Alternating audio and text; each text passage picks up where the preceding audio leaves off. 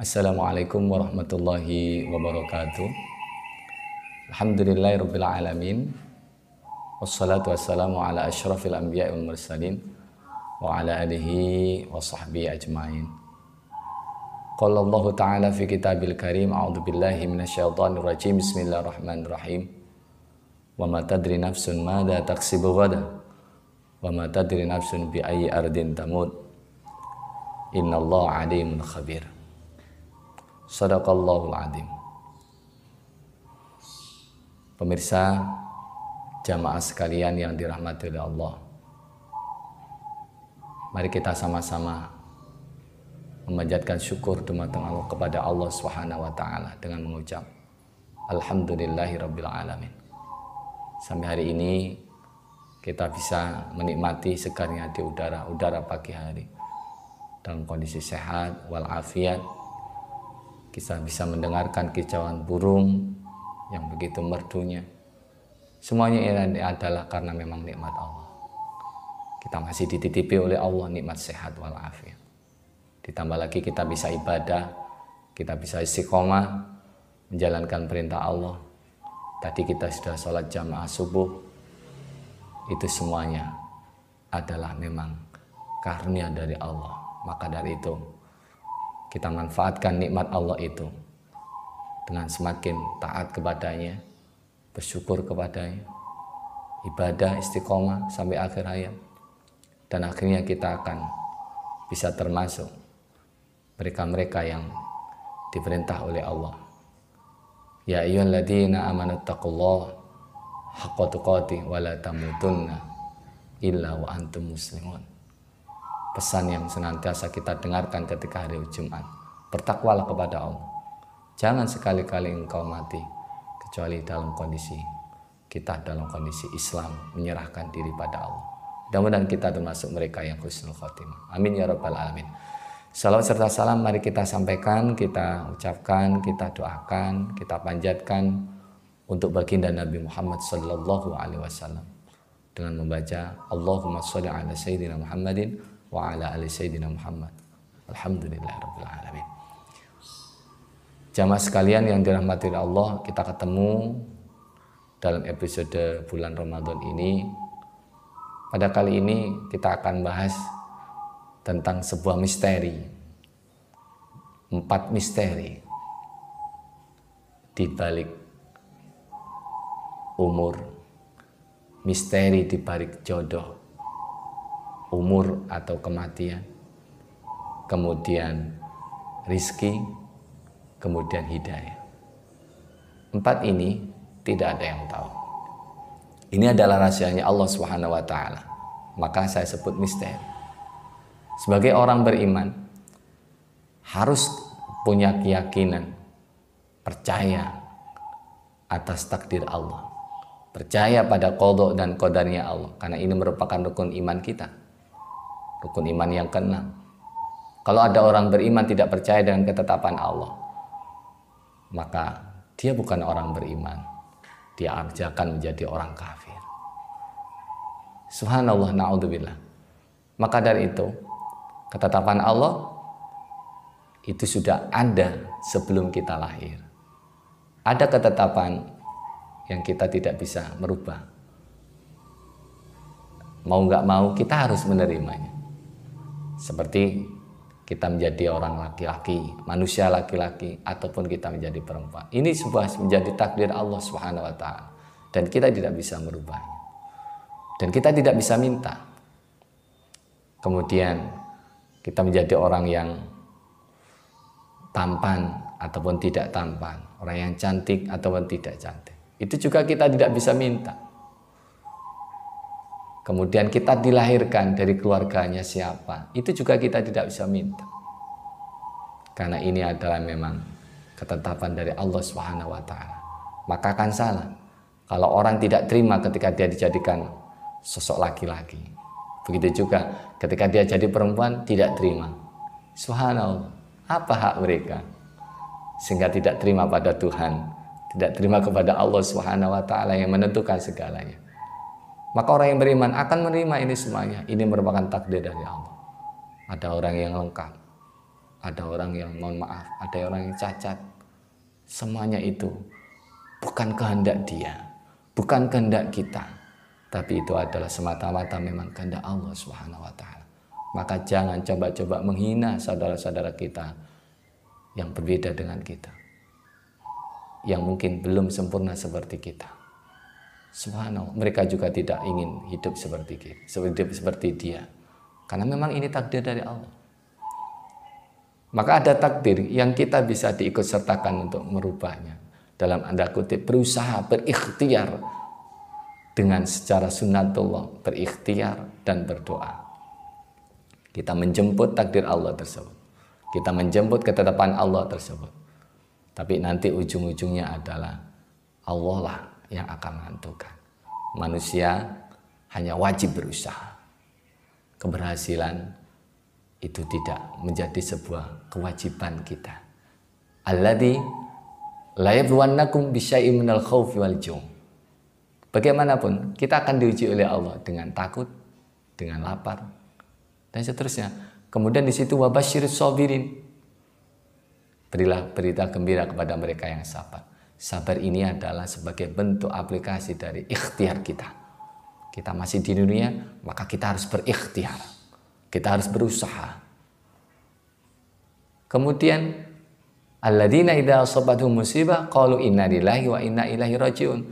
Pengembalian diri kepada Allah. Dikembalikan kepada Allah. Kita ini milik Allah, maka kita akan kembali kepada Allah. Itu sebuah sebuah ikhtiar secara ukhrawi, secara zikir dengan zikir, minta dengan doa, istighosa. Tapi ujung-ujungnya nanti juga kembali kepada Allah. Karena Allah yang melihat, Allah akan maha melihat atas apa yang kita lakukan. Bukan hasil kita. Kan hasil adalah hak prerogatif Allah. Kita berhasil dan tidak Allah yang menentukan. Tapi kita wajib berusaha, kita wajib berikhtiar. Subhanallah. Alladzi khalaqal mauta wal hayata liyabluwakum ayyukum ahsanu amala. Ahsanu amala inilah yang akan menjadi ladang amal kita semuanya. Siapa yang paling baik amalnya? Siapa yang paling baik dalam proses untuk menjemput takdir Allah itu. Itu yang akan menjadi nilai tersendiri dari kehidupan kita. Subhanallah, jamaah sekalian yang dirahmati oleh Allah Subhanahu wa taala. Empat misteri. Apa itu? Yang pertama, jodoh. Kalau saya berkatakan jodoh ini unik. Karena ini misteri. Kita tidak tahu siapa jodoh kita.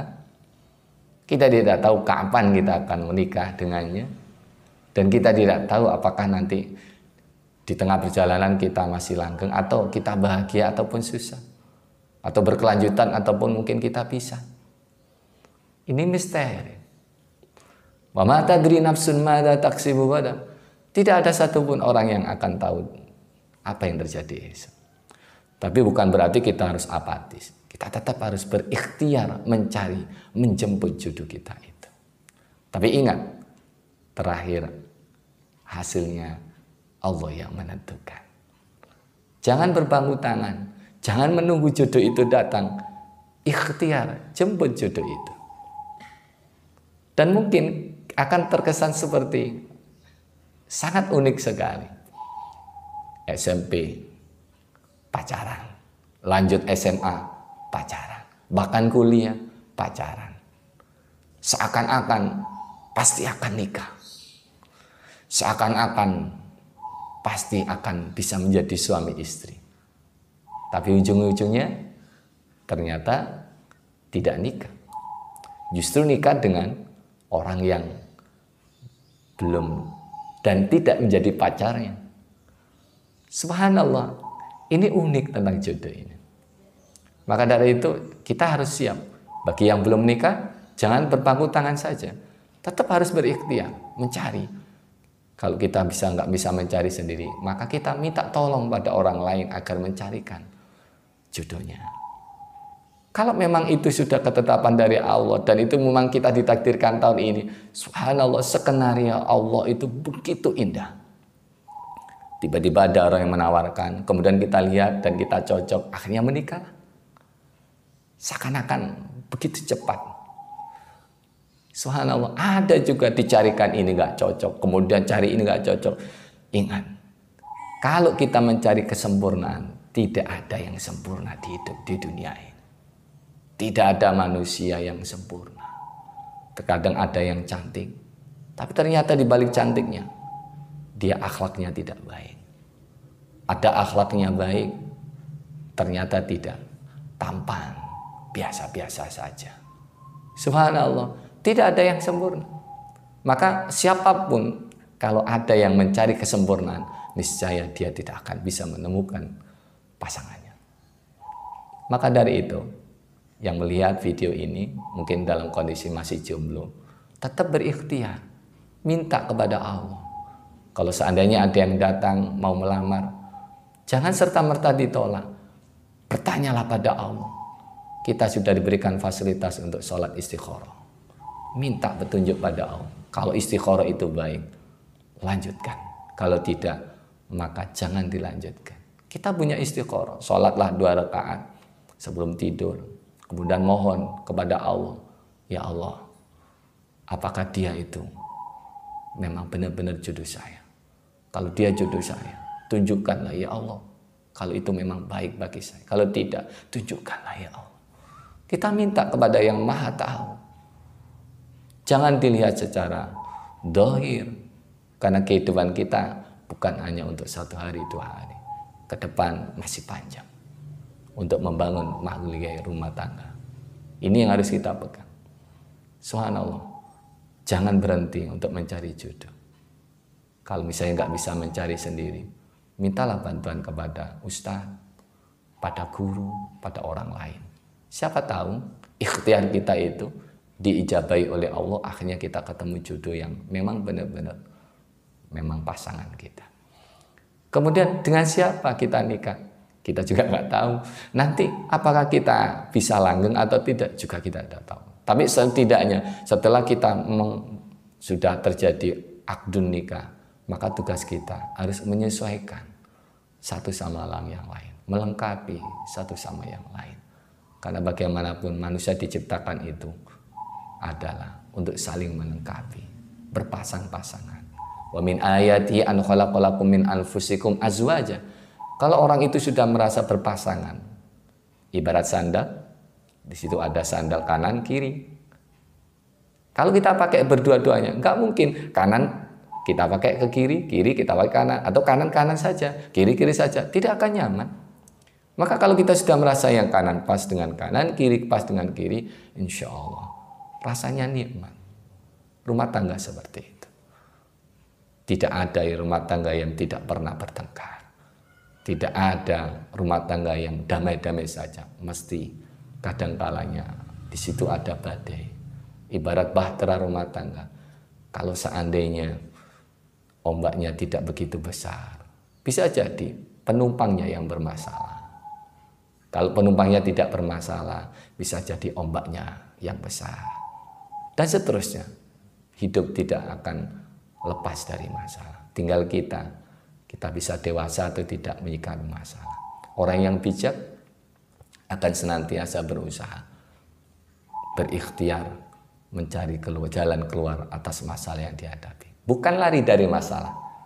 Karena bagaimanapun kalau kita lari dari masalah, di sana pun juga ada masalah. Maka sekali lagi, kita renungi kalau seandainya kita sudah nikah, kita berusaha untuk menyesuaikan diri. Sehingga kita merasa cocok. Dan akhirnya kita menjadi jodoh dunia dan di akhirat. Itu yang pertama. Lantas yang kedua, apa misteri itu? Misteri itu adalah hidayah. Hidayah. Kita tidak punya kompetensi, kita tidak punya kemampuan untuk memberi hidayah saudara kita. Bahkan Rasulullah pernah ditegur oleh Allah. Inna kala tahdi man ahbabta walakinna Allah yahdi man yasha. Wahai Rasul, engkau tidak akan bisa mampu memberikan hidayah kepada orang yang engkau cintai pun sekali. Tidak akan bisa. Tapi Allah akan berikan hidayah kepada Allah dan orang yang dikehendaki oleh Allah. Maka dengan ini kita hanya bisa menyontohkan, mengajak saudara kita agar kita agar mereka mendapat hidayah dari Allah. Kita hanya berikhtiar dengan doa. Kalau sudah kita ajak mereka juga tidak masih kunjung mendapat hidayah dari Allah, kita beri nasihat masih tidak kunjung mendapat hidayah dari Allah, kembalikan pada Allah. Faidah faragta fansab wa ila rabbika farag. Kembalikan kepada Allah.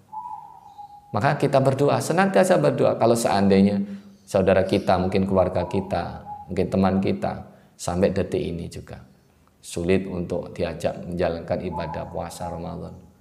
Atau bahkan untuk sholat lima waktu pun mereka tidak mau. Kita sudah berusaha. Kita kasih contoh sudah.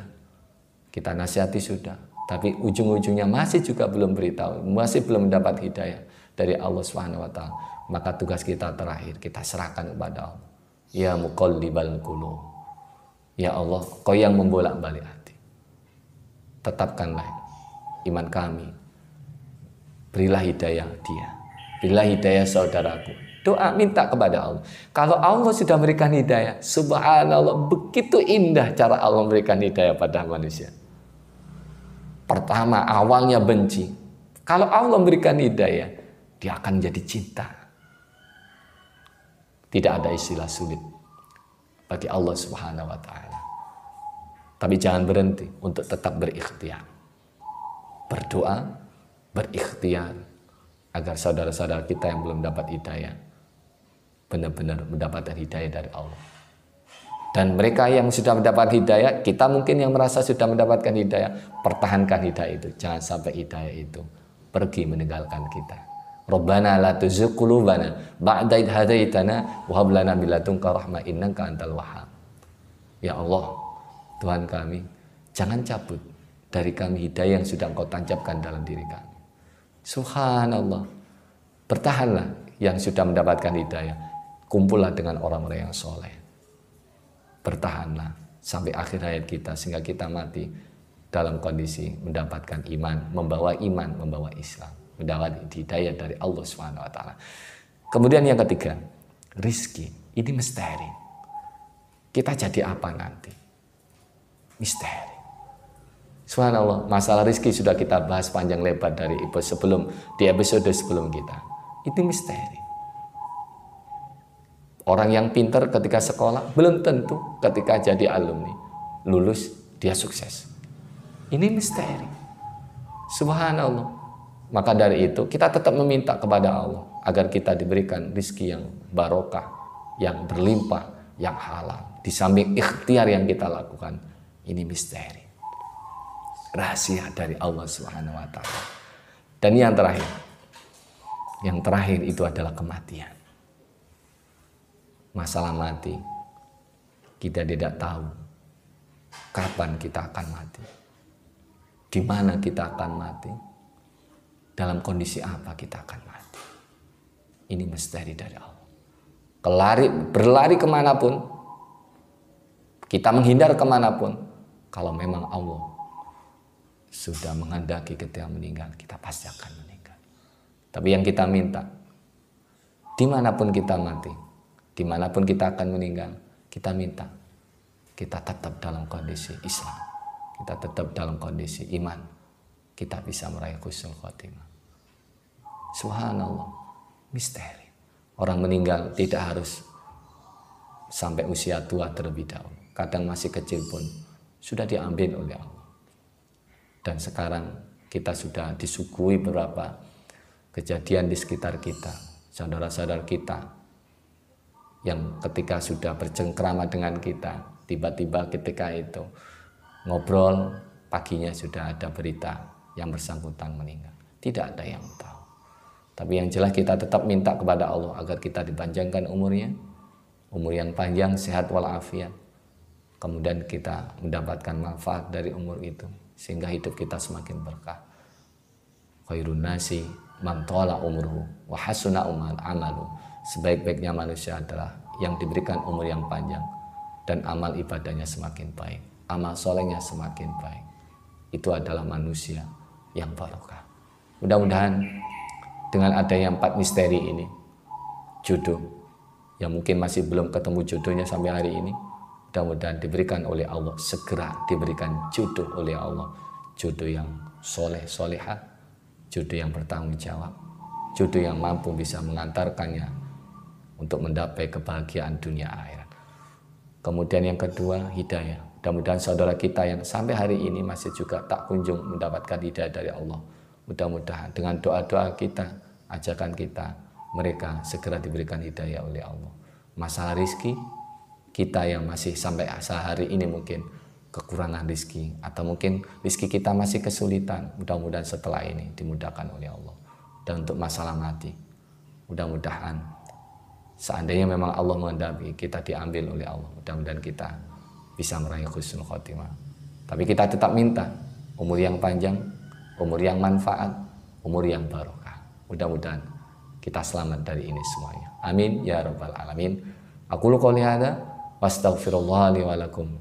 Innallaha ghafurur rahim. Mohon maaf atas segala kekurangan. Kalau dirasa penting dan manfaat, silakan share bagi ke teman-teman. Jangan lupa subscribe agar ini lebih bermanfaat. Subhanakallahumma bihamdik asyhadu an la ilaha illa anta astaghfiruka wa atubu ilaik. Assalamualaikum warahmatullahi wabarakatuh.